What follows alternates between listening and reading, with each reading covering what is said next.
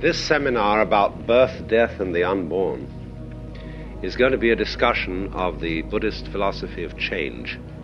And I'm going to start out by going into the very tricky and difficult question of the Buddhist view of birth and death and the doctrine which is ordinarily understood as reincarnation or rebirth. It's a curious thing that many Westerners who become interested in Hinduism or Buddhism do so because of this idea of reincarnation. They like it.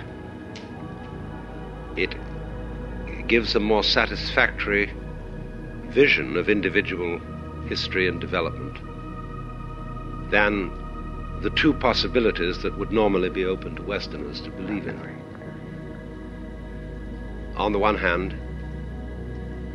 you've got the choice of the Christian view, which is that you live in this world once, and in this fourscore years and ten, your eternal fate is settled. Or you've got the possibility of the materialistic view, which is that you only live once, and when you're dead, you're dead. That's that. You're a flash of consciousness between two eternal darknesses. Intelligent people in the Western world have never felt very happy about either of these two prospects. And therefore, there's a certain attractiveness about the idea, which seems to be the point of Buddhism and Hinduism, that you are a soul on a pilgrimage, and that from some extremely obscure origin you began uh, as some sort of animalcule and worked your way up step by step through all sorts of forms of life, and finally, you have the privilege of appearing in human form. And once you've got there, you have an opportunity to develop to the highest spiritual position. You must remember that according to both Hindu and Buddhist doctrines, the human form is a very privileged position. For there are, according to both of them, because they share a common cosmology, six domains of beings. And uh, if you visualize the wheel of life with its six divisions, at the highest, top division, there is the realm of the Deva. Deva is a word from which we get the word divine and equally the word devil.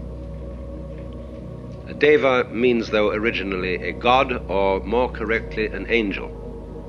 Angel is a better Western translation of deva than God. Immediately opposite the deva world, at the bottom of the circle, there is the Naraka world of beings in torment.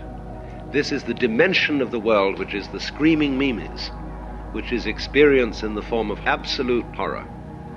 The Deva world is the experience of being in the form of bliss.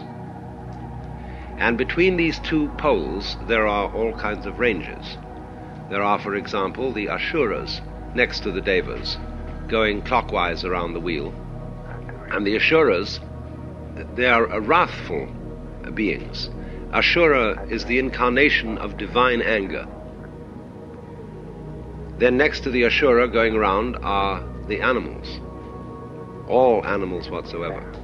Then again, we get to the Naraka at the bottom, the, the place of the purgatory, we'll call it. Then coming up again, there's the world of the Preta, who are frustrated beings. And they're represented iconographically as having very large bellies and very tiny mouths. That is to say, an immense appetite with very little means of satisfying it. They're a sort of spiritual bottleneck. And then coming up between the pretas and the devas is the world of the humans. And this is understood to represent a sort of middle position. You can be liberated from the human state because the devas are too happy to be liberated, the asuras too furious, the animals too dumb, the narakas too tormented, and the pretas too frustrated. You need not take this as a literal account of various kinds of being in the universe. You can take them simply as a depiction of various states of the human mind, of the moods you can go through. They're all really in your own head, as we shall see uh, later on about many other things. But these are the six worlds of Hindu and Buddhist cosmology. And the notion is that one reincarnates again and again through the six worlds. This is the popular idea. In other words, if you live this human life in a bad way and you become angry, if you devote your life to fury, you'll be reincarnated as an Asura. If you devote your life to merely living for back and belly, you'll be reincarnated as an animal. If you are horribly cruel to people, you'll be reincarnated as a Naraka, and so on all around. But on the other hand, if you do good things, in the course of your karma, you will be reincarnated in the Deva world, or in better and better situations in the human world. That's the popular understanding. And Westerners, many of them think, well, that's great, because this opens up vast vistas of future development. We can go on in future lives working out our destinies, and we can also love to think about who we were before. Um, when you fall in love with somebody, did you meet before in some past life? Is this the working out of a karma that is between you? And it's very interesting. But the funny thing is that Hindus and Buddhists who do believe in rebirth do so not because they like it, but because they feel they have to accept it as a hard fact. And the whole task of the work of sadhana or spiritual practice and discipline is to get out of it. So it always strikes me, it's very funny that Westerners take this up because they find it comforting. But Easterners uh, are always trying to get away from being reborn. It was so funny once, Joseph Campbell told me a story that he was sitting with a Vedanta Swami, one of these Vedanta Society Swamis. And the Swami was saying, Oh, dear me, he said, you know, re- the idea of rebirth is so wonderful. He said, I, I really, I, think this is the, the, most, um, the most comforting notion. And Joe said to him, Swami, don't be a damn fool. What are you talking about? The idea of rebirth being so comforting. Don't you realize that that's what you're supposed to get away from? And the Swami suddenly jumped. Said, Oh, yes, of course. it was like I once had a talk with a Swami, and um, he was arguing, you see, that behind all the multiple forms of this world, there was only a one single divine principle. And he was going on about this. I said, Swami, you can't talk like that. You know very well that the Brahman, the ultimate reality, isn't one, because one has an opposite, which is many, and Brahman has no opposite. You should speak of Brahman as the non dual. And again, he You talk just like a Hindu. They're funny, you see, because these Swamis have accepted an enormous amount of Western feeling. The British were responsible for that, for occupying India so long and perverting its traditions. now, it is so curious, all this, because in Buddhism, there still prevails an idea of rebirth, very strong among all Buddhist countries, and yet, Buddhism explicitly denies that there is any individual reincarnating soul. You see, in Buddhism, there is a doctrine which is called the three signs of being. I should more correctly say the Sanskrit word is bhava, B H A V A, and that means becoming rather than being. Bhava is from the, the basic root, I think, BH, which is connected with, the, with growth. So, bhava becoming, the process of change, has three signs. One is called dukkha. D U H K H A. Dukkha. In Sanskrit means frustration. is sometimes translated suffering. But I think frustration is a more general word which is perhaps better. Its dukkha is the opposite of sukha. Sukha means sweet. Dukkha perhaps means sour. But in this, in the way it's used, it means frustration as a basic characteristic of living beings. Because for some reason or other, life is always eventually frustrating. You desire more than you can ever get. You overreach the possibilities. And so to every being, death comes as a collapse and as something unfortunate. The next sign of being is called anitya, A N I T Y A in Sanskrit. Anitya, which means impermanence. The opposite word being nitya, eternal. So anitya is everything is in flux. And finally, anatman, A N A T M A N, anatman, which means that nothing has its own soul. Now that sounds to a Christian a terrible idea because we use the word soulless, or we say to a person, You have no soul, which means you have no finer feelings. You have no, uh, you're not a human being. Because Christian theology did distinguish between humans and animals by saying that animals have no soul. Idiots have no soul. They've lost their soul. But you can see at once that there is a complete difference of the meaning. This is a to translate Atman as soul is ridiculous. Anatman means basically that nothing exists. Well, there's another word in Sanskrit you have to know, svabhava, S-V-A, that means oneself or one's own, same as the Latin suus, because the V becomes the U. Sva, bhava, bhava becoming again, your own becoming. Or sometimes it's called your own nature or self nature. So what it is saying is that you don't that nothing has any real svabhava because no individual thing of any kind exists except in relation to all the other things.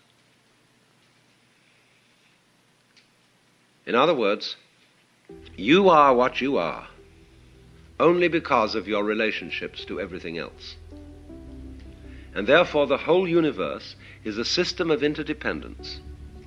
It's just as if, for example, you were to stand two sticks on the ground and lean them against each other, and they will stand up and form an inverted V.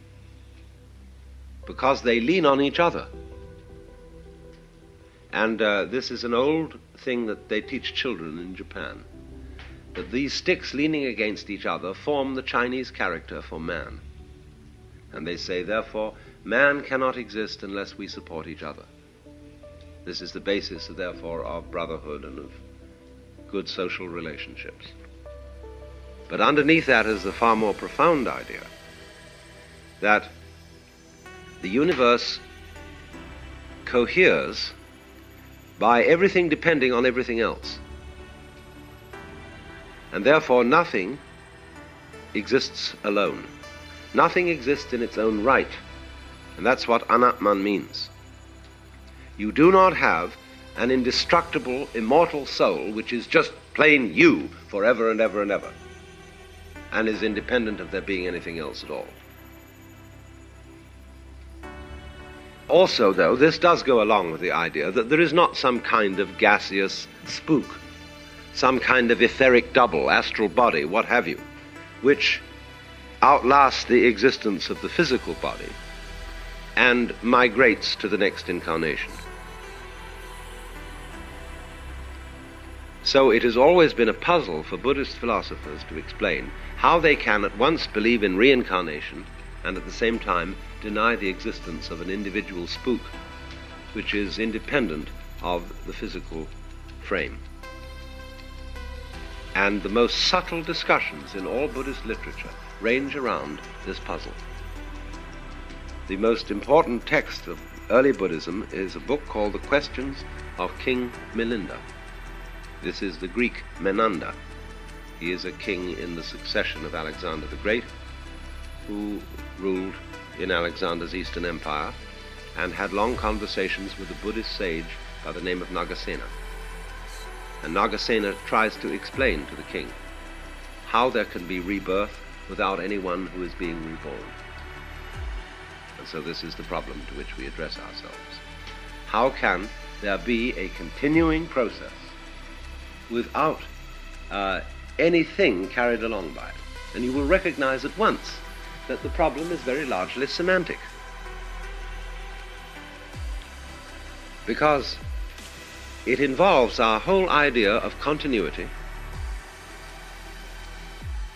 What, for example, do you mean by a wave? When you see, you throw a stone into the water, and from the plop point where the stone goes in, a whole lot of rings emerge, and they are waves and they go out. And you can, as it were, look at one of them and follow it. And you say, I am watching a wave. But what is a wave? You know very well that the water itself, no, no volume of water, no specific volume of water is moving outwards from the place where you drop the pebble.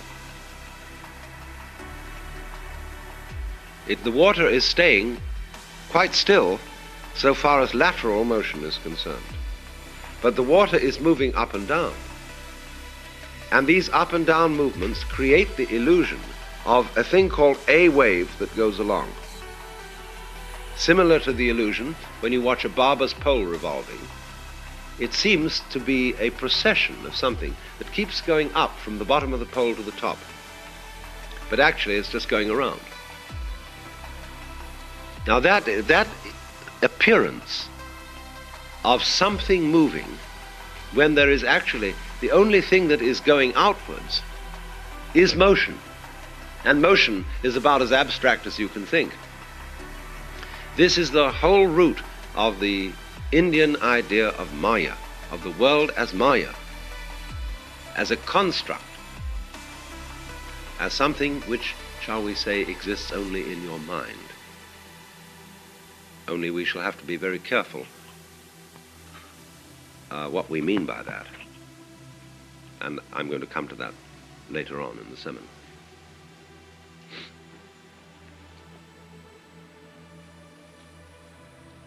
So here, here, is, here is the point.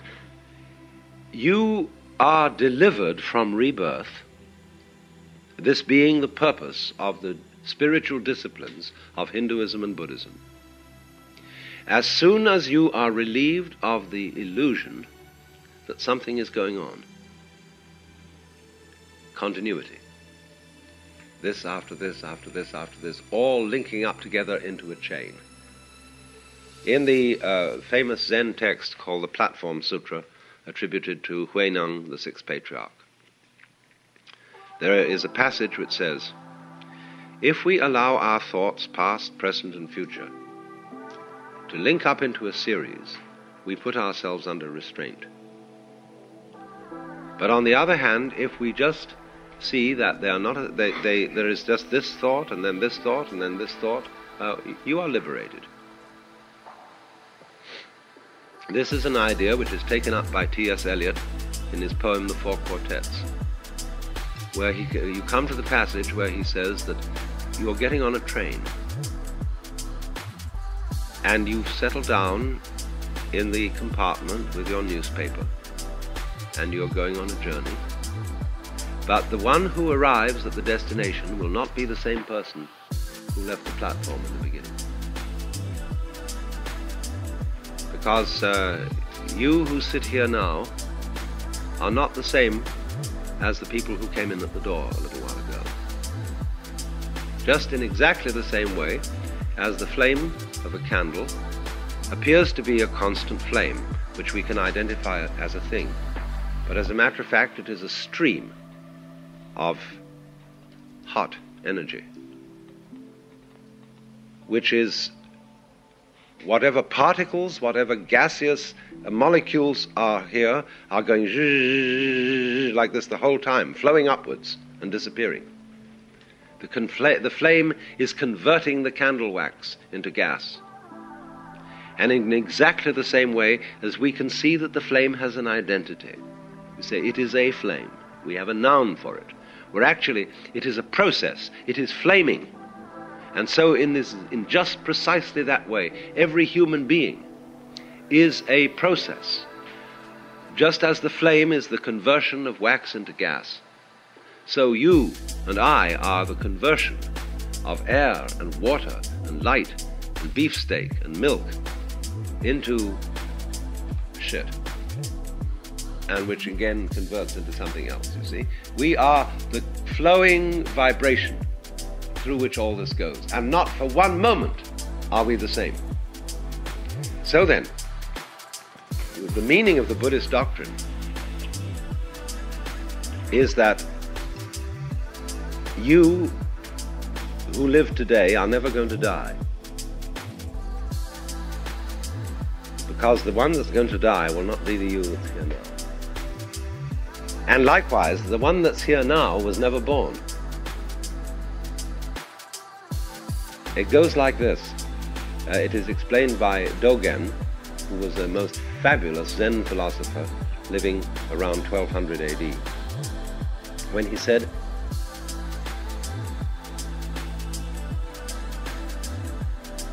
The spring does not become the summer, and the summer does not become the autumn. No one would say that spring becomes the summer. There is spring, and then there is summer. And he said in the same way, when you burn wood, there are ashes, but the wood does not become the ashes. There is wood, and then there is ashes. Each is, as it were, sufficient to itself. There are, as it were, so steps. It's like vibrations, uh, wave crests, you see, where the water doesn't move, you see. Water doesn't move laterally. So, in this sense, by analogy, the spring does not become the summer. But by watching it, you in your mind impose motion on the up and down of the water. And so you say, the spring becomes the summer. So likewise, you say, the baby becomes the adolescent, becomes the uh, man, becomes the crone, becomes the corpse. And the Buddhists say no. These states follow in the same way as the apparent motion of a wave. And so the, the, the word to the wise is live the moment you're in. There is no other place to be. You will not die, and you were never born. If you realize, if you see through the illusion, now this may sound as if one were creating a theory of the universe which is what you might call atomistic, discontinuous. It is saying the universe is nothing but point instants. And it all comes down to that. See? This is an extension of the Western philosophy of nominalism. A nominalism is opposed to realism. The nominalists argue against the realists' point of view, which is realists say there is such a thing as mankind. Mankind is a, a reality, and every individual human is a special instance of a real, universal substance called man. The nominalists argue this is abstraction and nonsense. There is no such thing as mankind, there are only individual people. And of course, this has become in the 20th century the ascendant point of view. There is not really such a thing as the United States of America. That is a political abstraction. There are just the people who live here. But if you take nominalism to its logical conclusion, you get to the point where you don't exist at all. A human being? Well, there is no such thing as a human being, it's an abstraction. All there is is the molecules that are the cells uh, which infest your bones.